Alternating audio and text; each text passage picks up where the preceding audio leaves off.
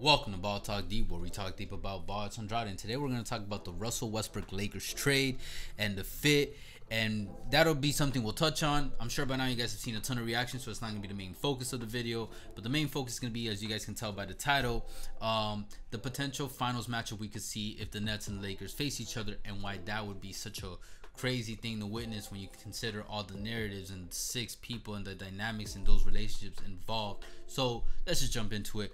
First and foremost, my thoughts on the Russell Westbrook Lakers trade is Russ adds more spice to LA, but I don't think he helps the Lakers win the title. But, and a big but, while I'm usually skeptical about Westbrook fitting into a team, if there's anyone who can bring out the best in him to win, it's LeBron. And LeBron just has this history of getting people to just adapt and fit into certain roles and positions to help uh, ex- uh, push the team forward as a whole and excel and reach success. And we've seen it a lot. Uh, clear examples were like Chris Bosh, Kevin Love. They're always talked about and how they shifted their gameplay. And we saw with the the last Lakers championship team with Rondo and Howard. So something I do expect is Westbrook to have an easier time molding his game into whatever the Lakers strategy uh, is with LeBron, AD, and Westbrook, and then everyone else. And because of LeBron's presence there and you know his IQ and his experience playing into it. However, Westbrook is not a shooter, and LeBron likes to be surrounded by shooters. So maybe we'll see a Lakers attack that problem with the role players they get. Although it's going to be very hard because you know uh, AD, LeBron, and Westbrook command quite a hefty price tag just between those three.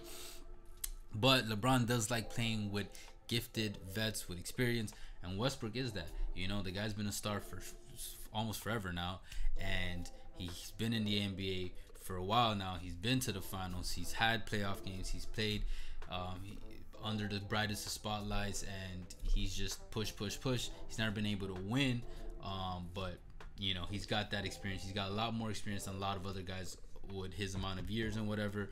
And so this is definitely something LeBron's gonna like being able to play with.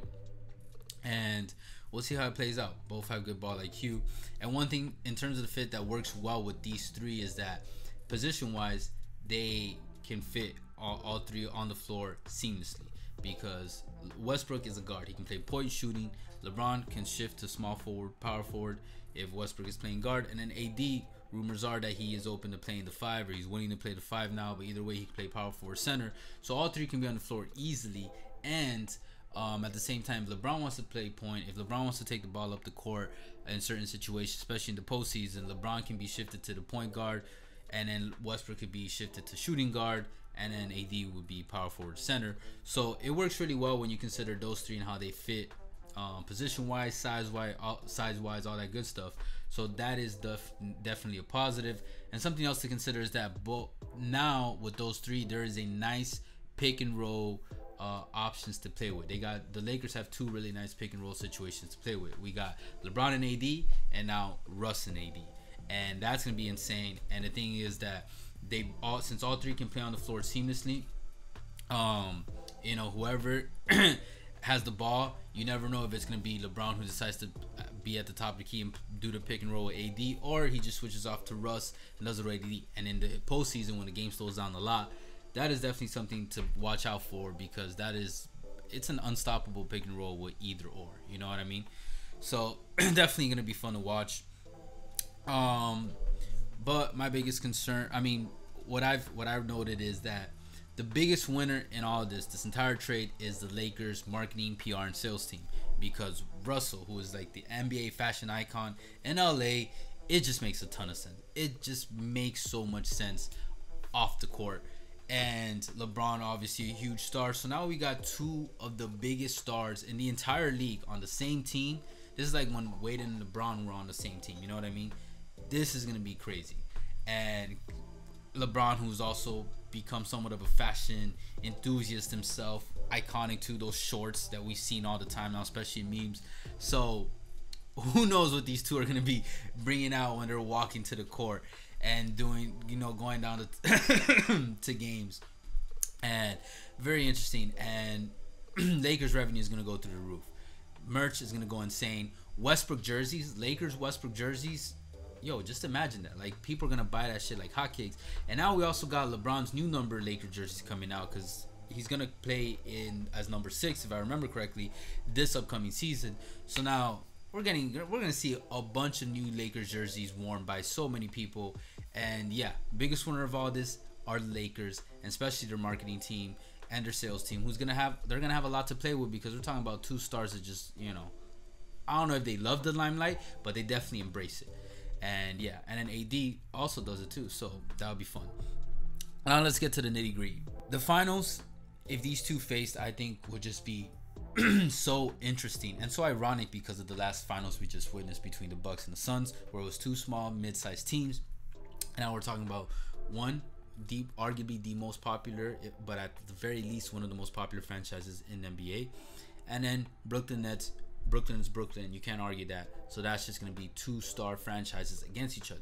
And then you got these six NBA stars slash superstars against each other. We're talking about Kyrie Irving, Kevin Durant, James Harden on the Brooklyn side, and LeBron James, Anthony Davis, and Russell Westbrook on the LA side. Now, what makes this is even more interesting is one, it's already an easy sell because we got two star trios facing against each other that are on similar levels as a whole. As a whole, I think it can be argued they're on the similar level. So it's not one super team much better than a non super team or another team that, you know, isn't is up there but not their level. Nah, these three pretty pretty, you know, maybe like a hairline difference, but pretty much the same. And then more importantly, it's the the storylines, the dynamic, intercorrelated, intermixed between these six stars. So let's get into it. Between these six men, there's seven narratives intermingled among them. All right. So keep this in mind. We got LeBron versus Kyrie, the former teammate history. LeBron versus KD, the greatest player debate. KD versus Russ, another former teammate history. KD versus AD, a big man challenge. Kyrie versus Russ, a guard position challenge. Kyrie versus AD, a LeBron teammate debate. And then Harden versus Russ, another former teammate history. Now, let's break it down. LeBron versus Kyrie, you know, they're always talking about the former teammate, personal uh, relationship woes between players. And, you know, how that ended wasn't. Uh, as anyone would have expected, and definitely not how LeBron planned it. So that is definitely going to be brought up. Then we got LeBron versus KD. Past couple of years, uh, greatest pair debate has been between these two, and as LeBron ages, KD was viewed as the the overall successor to that to that throne, and to see them in the finals, just think about it. That would just be beautiful to witness. Beautiful to witness. Like I know a lot of people love the Bucks and Suns uh, finals because we're getting quote unquote real basketball, just nitty gritty, playing fundamentals, just playing real ball. Now imagine that with these two guys at their like just peak NBA talent doing that. You know what I mean? And that's what we would get. People always brought up, bring up how we didn't get to witness LeBron versus Kobe. This is the next next greatest thing we can get and oh, man, it would just be a beautiful thing to witness. And they're both similar sizes, so they'll definitely be playing up against each other as well. And yeah, we'll see. We'll see how that goes. And then we got the KD versus Russ, another former teammate debate, uh, personal relationship uh, history.